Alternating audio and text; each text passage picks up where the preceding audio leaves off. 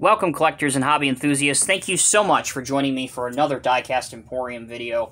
Today's video is going to be very similar to the video that I filmed yesterday, and that is the top three models that I would recommend a new collector get when they join our hobby. However, the difference is this one focuses on paving models.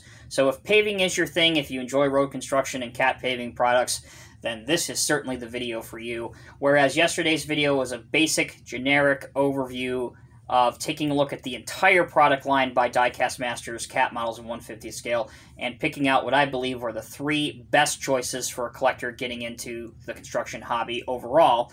Again, this one focuses in on the cat paving products. So, very similar to how we did the last video. And again, if you haven't had a chance to watch that, look at your top of your screen right now. I will post a suggested link for that, and I strongly encourage you to watch that video first before you continue on watching this video.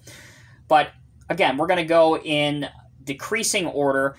So here are, without further ado, the top three 150th scale Diecast Masters cat paving models I would recommend a collector get when they first join our hobby. So here we go. Number three, item number 85595. This is the Caterpillar CP, CB, rather, 13 tandem vibratory roller with cab. So there are two versions of this roller. So that you have this version, uh, which is item number 85595, like I said, but there's also another one, 85594, that has the ROPS version, where this has an enclosed style cab. In all other aspects, the casting and the model is pretty much identical. So really, it just comes down to whether you like your rollers to have enclosed cabs or the more traditional style open cabs that you would see uh, here more often than not here in the United States. But the reason that I chose to show this one out of the two is for this simple fact right here. You can take the top off and you can put your operator figure, which is included, uh, down into the operator seat of this roller. And again, there are some nice detailing uh, nice details all around the inside of this, whether it's the joysticks, the seat, or the instrument panel, uh, which again is decaled up. So simply by taking the top off and popping it back on, you can put your operator figure in. The roller, it rolls really, really well, helped along by its really quite substantial weight, which is really what you want in a roller. And uh, it works well here. Again, you can articulate it as well, and you can offset it to some degree too. Smaller details, again, always you have your warning and tie down decals.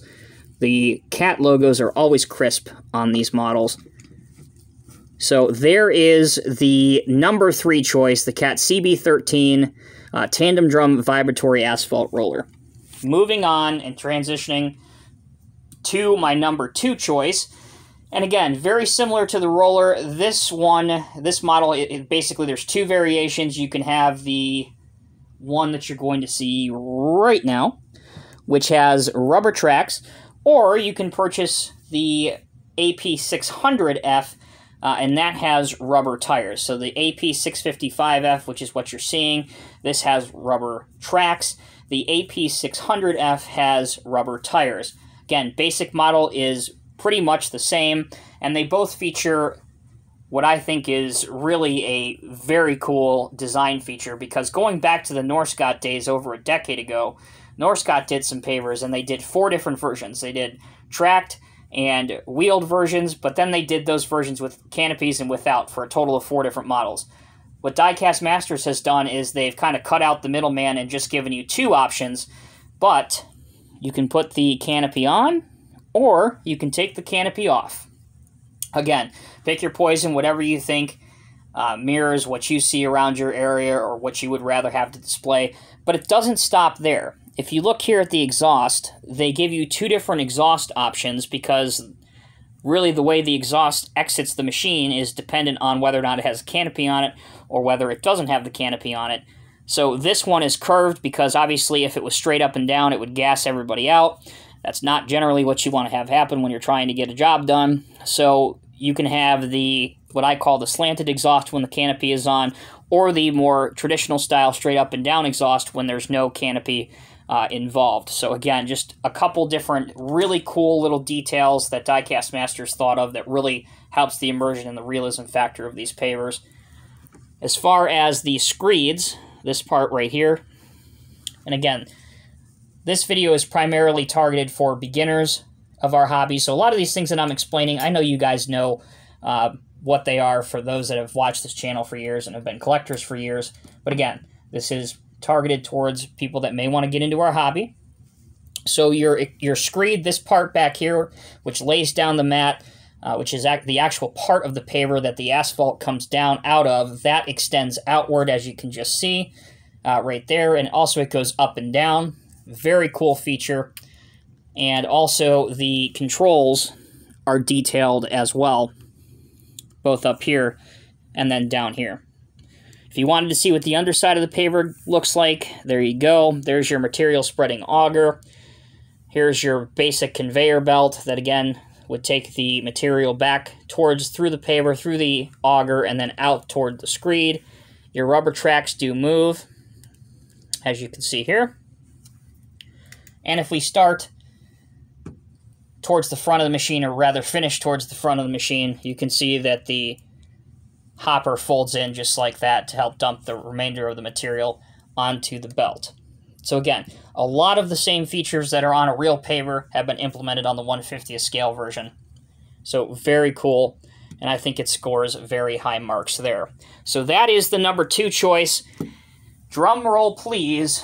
And I know that if those of you that have watched this channel and know me for years, are this is not going to be any surprise whatsoever the number one choice. If you want a paving model by Diecast Masters in 150th scale, here it is.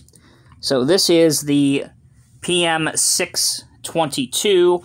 Uh, again, very similar to the paver and the roller. There are two versions of this model, basically the only difference being the decals.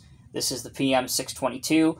There is a PM822 if you want to go slightly larger. Um, Again, the basic casting is the same. The only difference is the decals. This is a really unique piece of machinery because this is actually what's used first before the paver and the roller come in. This is used to eat up or mill the old asphalt, and it goes straight up through your conveyor belt here and out the top and into a waiting dump truck. So again, very specialized piece of equipment here, but these milling machines or these planers, there's a bunch of different names for these, but once you and, and I'm sure if you've been on the highway or the throughway, or even if you live in a large city, you've seen these machines. They're really quite fascinating to watch, and they're really cool. So again, a lot of the real features of the of the real cold planers have been implemented in these models. Um, I already showed you that the conveyor belt will discharge into a truck. This is another little working feature and that's the opening engine cover, so you can get a good look at the details of the engine inside, or if you're posing the machine having some maintenance done on it, that's always another good option. Uh, unlike the paver and the roller, these machines come with our operator figure permanently affixed. Uh, obviously, you can remove him with some pliers if you would like to do that. I never recommend doing that, but that is an option for you. And he is in, instead of being seated, like we see in almost every other diecast masters model. He's actually in the standing position uh, because, again, that's how you would really operate one of these in the real world.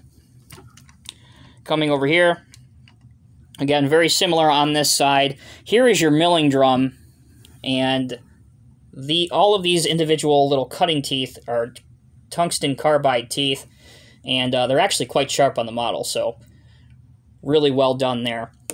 This machine is also excellent at getting into really, really narrow uh, turning radiuses, so you can have the machine turning really at a tight angle or even at crab steering if you want to do that, similar to how you might see a crane sometimes. Uh, again, just very cool, all of the working features that have been implemented on this particular uh, model. So, also wanted to show you guys that there's another piece on over here that opens on the side to get another look at the side of the engine. Just a lot of working features on this, and they really did a great job getting it all in. Last thing that I'll show you is our conveyor belt here. This can be folded up for transport, just like this. So if you wanted to have it on a low boy, you can fold up the conveyor belt and uh, lower it more so it will fit nicely on a low boy. So there you have it, collectors. Those are my choices, my opinion. Top three must buys if you are into cat paving products. Again, number three, the CB13 roller. Number two, the CAT AP655F paver. And number one, which you can already see in your screen, the CAT PM622 Cold Planer. So you can purchase all of these models from your favorite authorized Diecast Masters distributor. They are all part of the Highline series, which means currently, at the date that I am filming this video and the date that it goes live, uh, they are all still available so that you don't really have to hunt these down. They're not very difficult to find. So that's always a good thing. But you guys let me know down in the comment section below which of these models you own, which of them maybe you've never seen before, or which of them you would like to purchase. And maybe if I left something out, uh, what paving model would you have put in here that uh, perhaps I overlooked or I chose not to include in this. As always, I'm Tommy with Diecast Emporium. Thank you all so much for watching. If you haven't yet, please hit the like and subscribe button so you never miss another video. And until next time, take care, be safe. I'll see you in the next review.